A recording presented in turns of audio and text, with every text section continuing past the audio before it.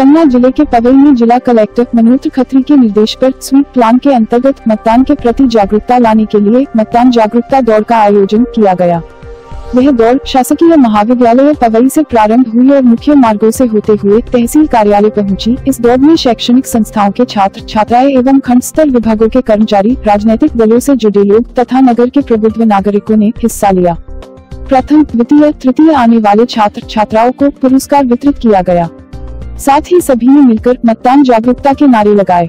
अभिषेक सिंह अनुविभागीय अधिकारी ने बताया कि इस दौड़ का मुख्य उद्देश्य मतदाओं को मतदान हेतु प्रेरित एवं जागरूक करना है। साथ ही उत्कल वोटिंग मतदान प्रतिशत में वृद्धि, ईवीएम एवं वीवीपैट मशीन की समस्त लोगों को जानकारी एवं मतदान हमारा अधिकार है, यह बताना है। भारत निर्वाचन आयोग के स्वीप प्लान अंतर्गत मतदाता जागरूकता के लिए हमने प्रयास किया है रन फॉर वोट शासकीय महाविद्यालय पवई से तहसील परिषद पवई से।